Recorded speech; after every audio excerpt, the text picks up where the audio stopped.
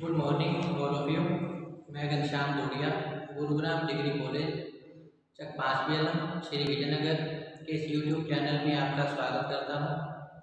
आज हम B A final year history आधुनिक भारत का इतिहास, जिसमें कि 1740 से लेकर उन्नीस सौ छप्पन तक की घटनाओं की जानकारी दी गई है।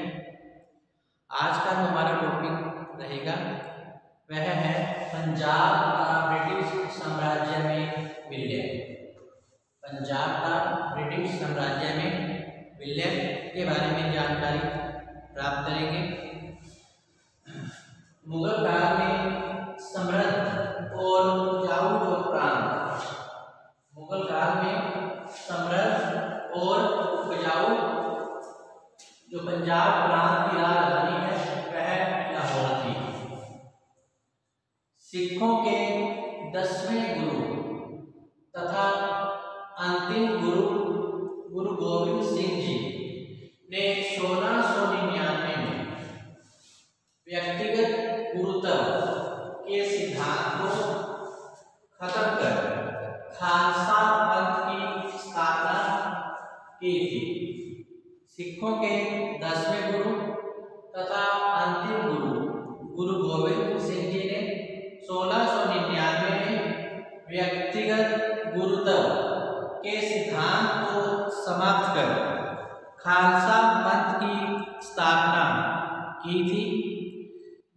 कारण सिखों को। विशिष्ट वेशभूषा, केश, कंगा कृपान कड़ा, व कच्छा आदि धारण करना होता था। गुरुदेव के सिद्धांत खत्म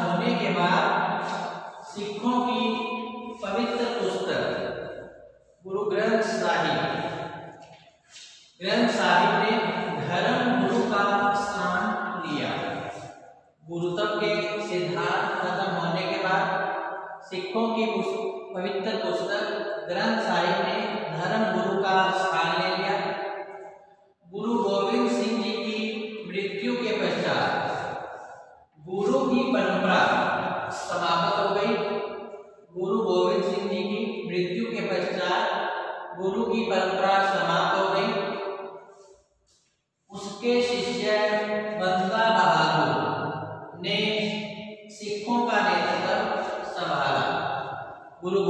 जी की मृत्यु के पश्चात सिखों का जो नेतृत्व है, वह गुरु गोविंद सिंह जी के ही शिष्य बंदा बहादुर ने संभाला था।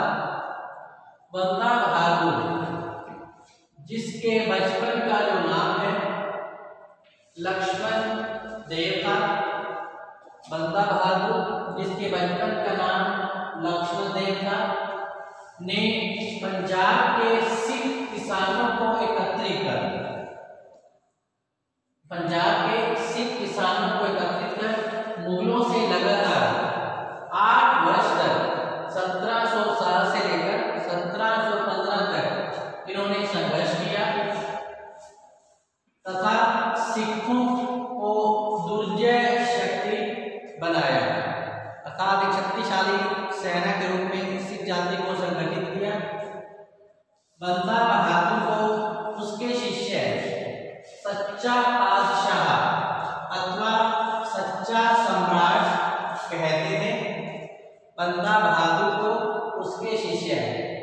सच्चा बादशाह अथवा सच्चा सम्राट कहते थे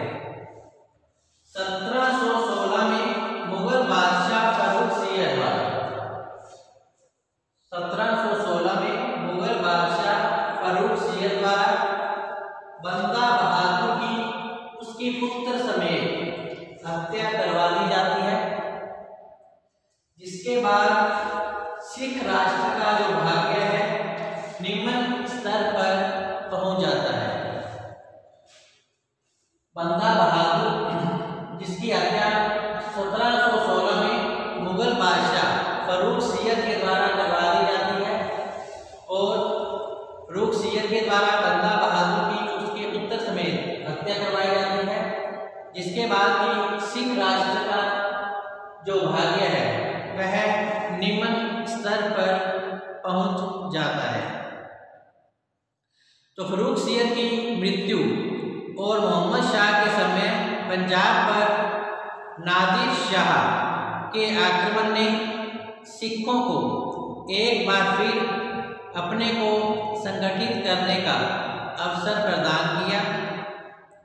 1726 में पंजाब में नियुक्त मुगल सूबेदार जकारिया खान ने सिखों से समझौता करने के उद्देश्य से उन्हें जागीर और नवाबी देने का प्रस्ताव रखा। जकारिया खान द्वारा फैजलपुर के कपूर सिंह को जमींदार नवाब के रूप में मान्यता दी गई। कालांतर में कपूर के नेतृत्व में ही पंजाब के सिख कृषक, जो कि पृथक पृथक जत्थों में बंटे हुए थे, को संगठित कर एक ऐसे दल के रूप में विकसित किया। जो दल खालसा के रूप में अस्तित्व में आया, सिखों की धार्मिक सेना के रूप में विकसित दल खालसा को कपूर की मृत्यु के बाद जस्सा सिंह अहलूवालिया ने अपना नेतृत्व प्रदान किया था। जस्सा सिंह के नेतृत्व में ही दल खालसा जो था, वह बारह स्वतंत्र मिसल या जत्थों में विभाजित हो गया। कनिगम ने यहाँ मिसल को अरबी भाषा का शब्द बताया, जिसका अर्थ है समान या फिर एक जैसा। प्रत्येक मिसल का अपना एक झंडा, नाम तथा निशान हुआ करता था। सभी मिसलों के नेताओं की एक समिति होती थी, जो सभी मिसलों के कार्यों का संचालन करती थी।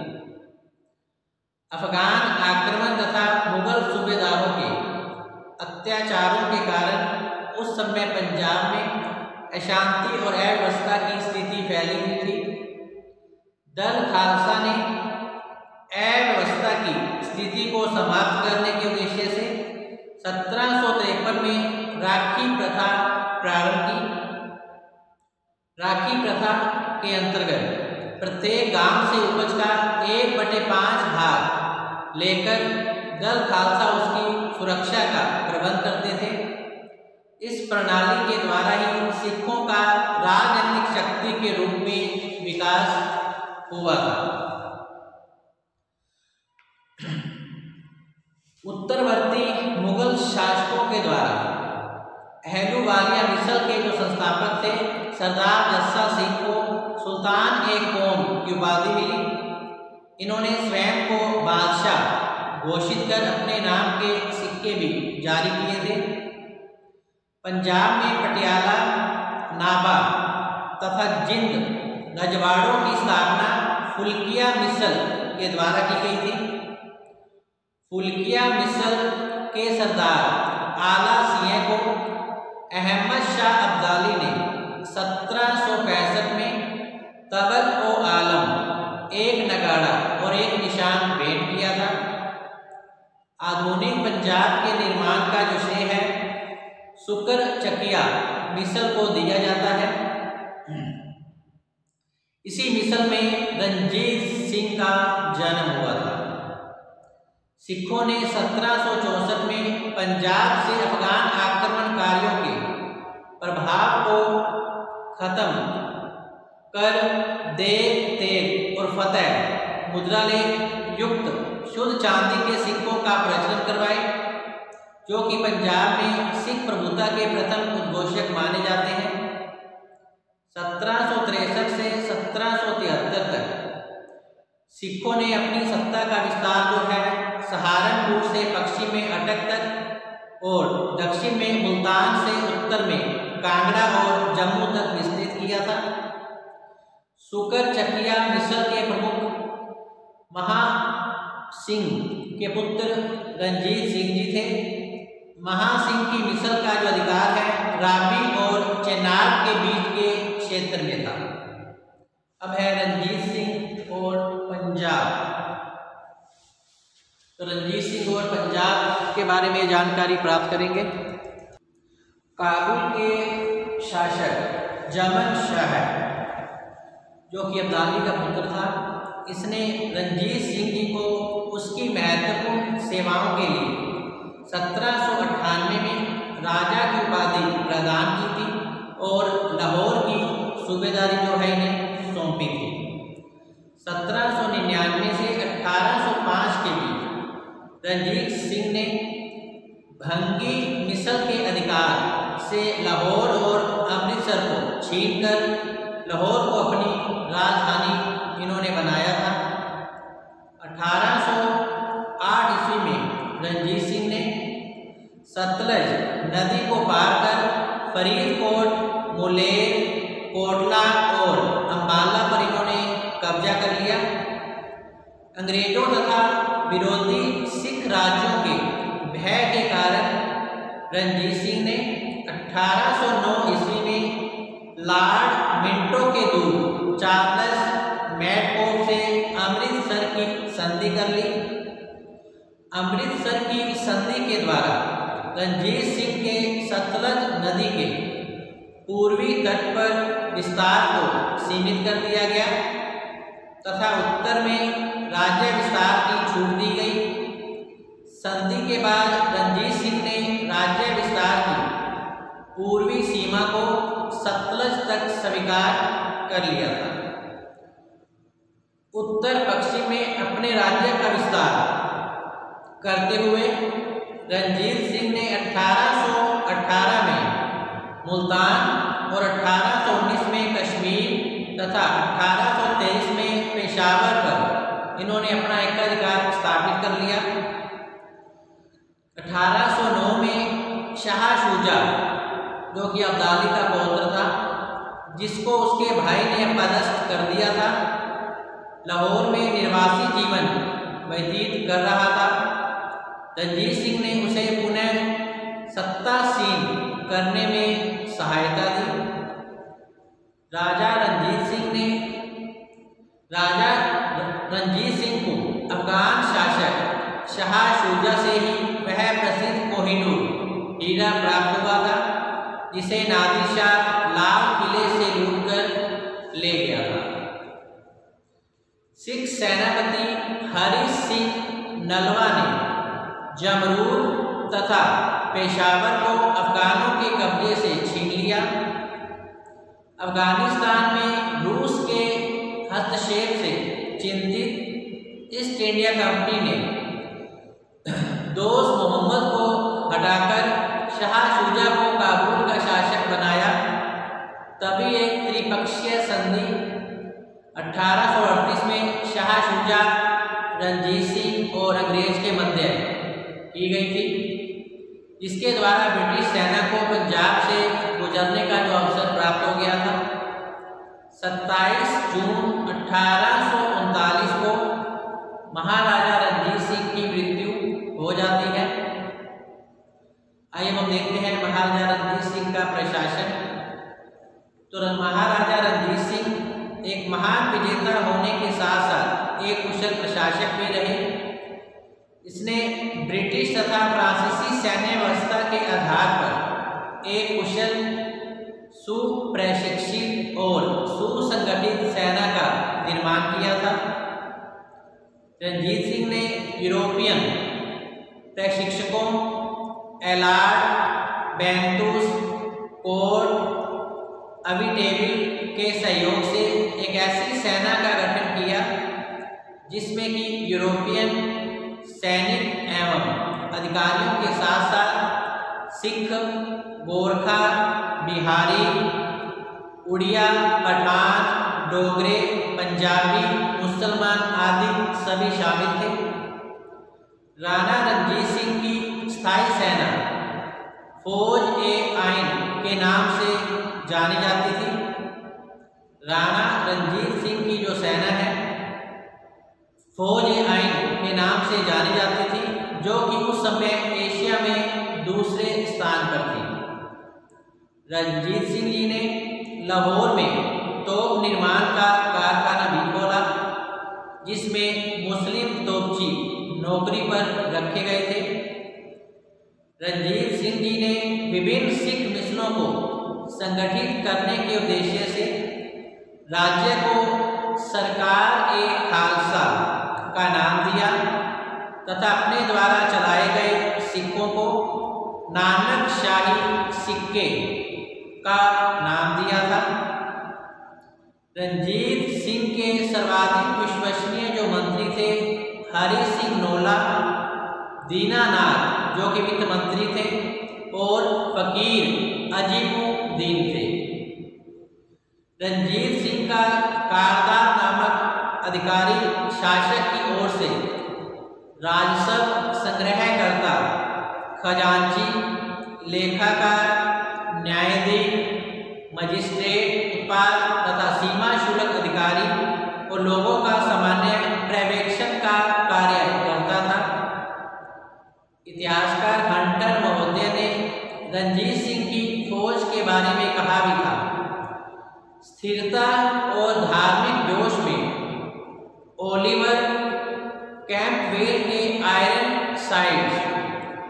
लोहा सैनिक के बाद इस सेना का कोई जोड़ नहीं है।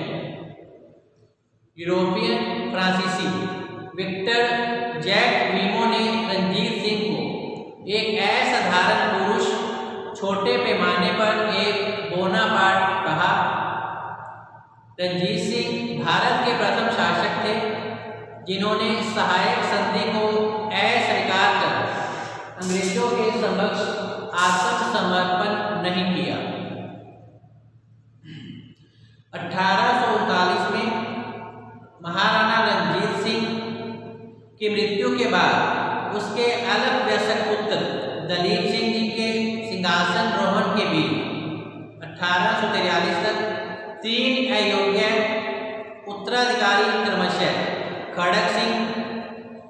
नोनीहाल सिंह और शेर सिंह ने शासन किया था। अठारह सौ तिरयालीस ईस्वी में महाराजा रंजीत सिंह के अलग आयु पुत्र दलीप सिंह राजमाता जिंदन के संरक्षण या प्रतिशासन में सिंहासन रूढ़ हुआ। दलीप सिंह के समय अंग्रेज़ों ने पंजाब पर आक्रमण किया था। दलीप सिंह के समय में अंग्रेज़ों ने पंजाब पर आक्रमण किया था। परिणाम स्वरूप प्रथम आंग्ल सिख युद्ध प्रारंभ हुआ था। दलीप सिंह के समय ही अंग्रेज़ों ने पंजाब पर आक्रमण किया। परिणाम स्वरूप प्रथम आंग्ल सिख युद्ध प्रारंभ हुआ। प्रथम आंग्ल सिख युद्ध जो कि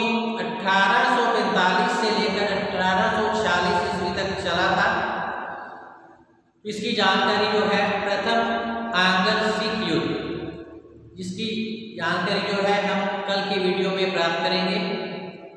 आज का जो टॉपिक यहीं समाप्त होता है। कल हम पंजाब का ब्रिटिश शासन में विलय इसके अंतर्गत प्रथम एवं द्वितीय आंग्ल सिख युद्ध जो लड़े गए थे, इसकी जानकारी हम कल के वीडियो में प्राप्त करेंगे। तब तक आप घर पे रहें, सुरक्षित रहें। पढ़ते रहें। धन्यवाद।